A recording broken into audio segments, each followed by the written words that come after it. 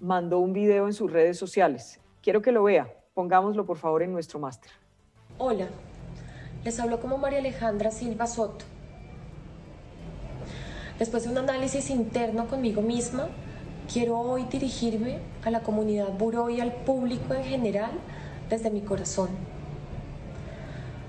Hoy he tenido momentos complicados que me han llenado de resiliencia y reflexiones, no solo en esta circunstancia actual, sino constantemente desde que empezamos con este gran sueño. He dado todo mi esfuerzo, mi vida y alma a mi buró. Y aunque buscamos la mejor experiencia, siempre hay aspectos por mejorar. Trabajamos con más de 300 talentosos emprendimientos, personal y staff que hace posible este gran recinto. Quiero disculparme desde el corazón por todas las acciones que los han perjudicado, perturbado o incomodado el día de hoy. Seguiremos apoyando a nuestras marcas y aportando para el desarrollo del país. Les invito a que nos unamos a una reconciliación, a un perdón. Soy humana, somos humanos. Soy una humana en aprendizaje y que como líder de esta iniciativa también tengo mucho que aprender diariamente. Pero lo que no podemos dejar atrás y permitir es que esta situación afecte a emprendedores y tantas personas que hacen parte de esta gran familia Buró. Gracias infinitas por escucharme, por acompañarnos y creer en Buró y en una Colombia unida. Bueno, ahí la tienen. ¿Qué opina?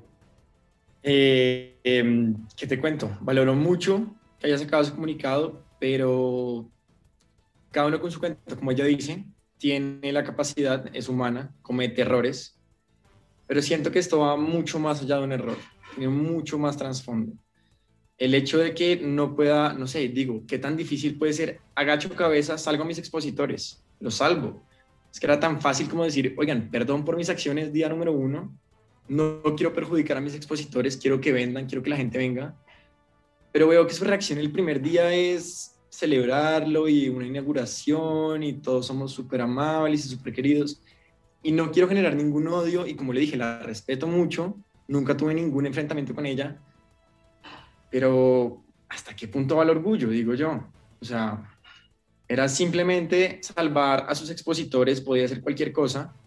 Por mi parte no he recibido un perdón, que no estoy diciendo que lo pida porque no quiero sonar que viene hacia mí la cosa. Pero creo que todo esto sale más que todo en movimiento, ¿sabes? En mi caso no me agredió a mí, yo no me sentí humillado. Yo quise exponer un caso, ni siquiera lo, lo expuse tratando mal a los demás. De hecho, dije apoyo buró, apoyo el emprendimiento.